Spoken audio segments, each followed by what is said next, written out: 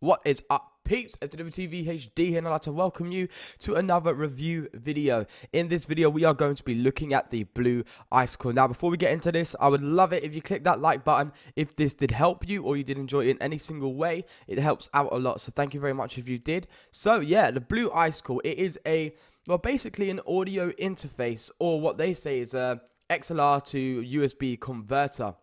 Now, the reason why they can't call it uh, an audio interface, uh, by the way, if you don't know what an audio interface is, it's basically uh, a massive like box that you plug in instruments, microphones, and stuff, and it converts its power uh, and allows you to use it in your PC because the power for uh, these types of uh, instruments, such as you know a powerful microphone, an XLR, and uh, you know the guitar and all that, uh, they, they're too powerful to be able to be um, supported by just the PC. So they need an external support, and that's what the audio interface is. So basically, the reason why I call this an audio interface is because it does that for the microphone. And the reason I don't think it's labeled to not be an audio interface and is actually called an XLR to USB converter is because it doesn't have all the qualities of an audio interface and only focuses on one of the instruments, and that is the microphone. So let's get into this and basically what the XLR to USB converter is. It's basically, as I said a second ago, it allows you to use uh, microphones uh, on your PC.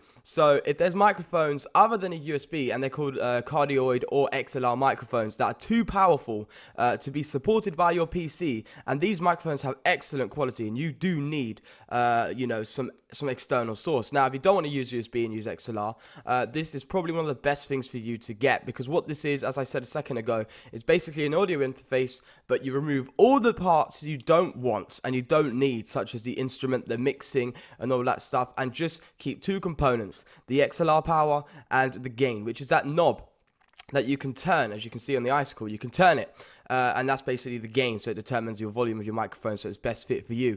But that's what you're going to use it for and it's really good for people who like to make music uh, music in terms of uh, vocals or you know youtubers if you're doing commentaries like i am now because i'm using it right now.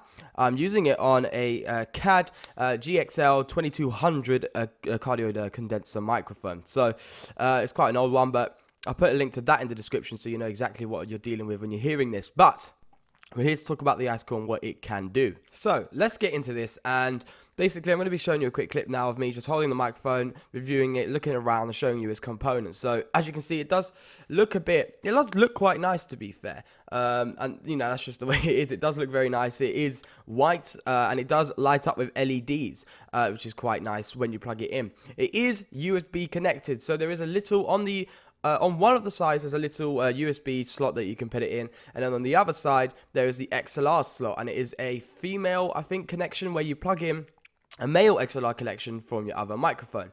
Now, uh, that's definitely what it is. There's also, a, as I said a second ago, a gain knob that you can turn and basically just give it a control the volumes and all that stuff. So yeah, it does feel cheaply made um, because it is made out of purely plastic. It is not metal, but I'm assuming that's what brings down the price as well. Uh, I think what they wanted to do is make sure they focus a lot on its price.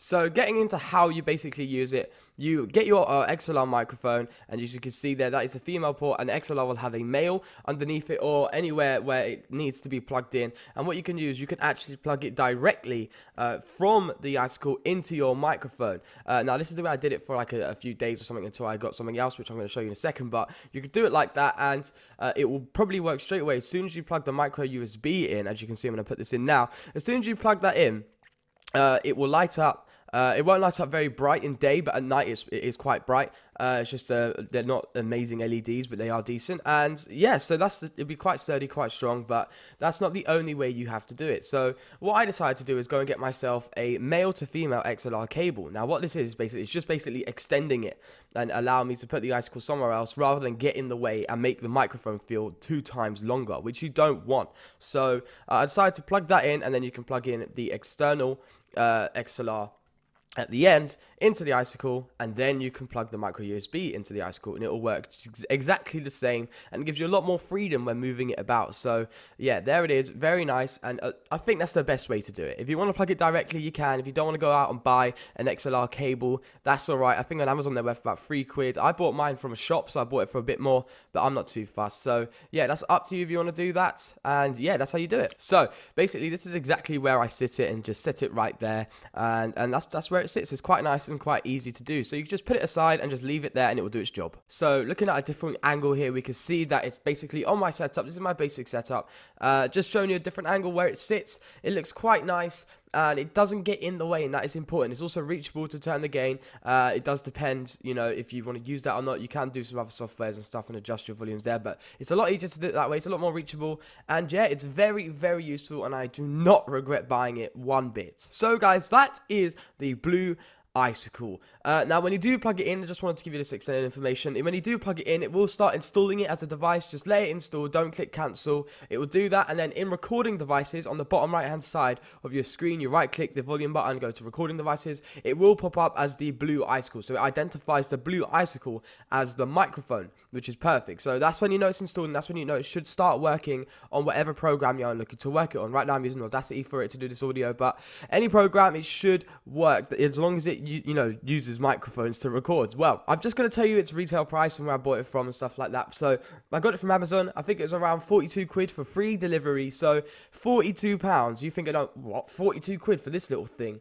You are completely missing the point audio interfaces are expensive and i mean the real ones the ones that you want to get the ones that you know do all the other stuff you know they're really expensive and it's completely pointless if you're buying it just for a microphone. If you're buying a whole audio interface for a microphone you are completely misusing it. You're using about 10% of what it can do and therefore you're paying way too much for what you're actually using it for. So as i said this is basically an audio interface but just focused on microphones. Now if you want to use it on something else if you want to use instruments and stuff, then go ahead and get this audio interface. But this is perfect, especially for people who like using microphones, and it's so cheap compared to its other competitors on its market. So it's definitely worth it. And if you are looking to somehow get your cardioid microphone working on your PC, this is the way to do it. And it's a lot easier to do. So there are other ones out there, of course. If you want to go look around, uh, I think Shure has got one. I'm not too sure.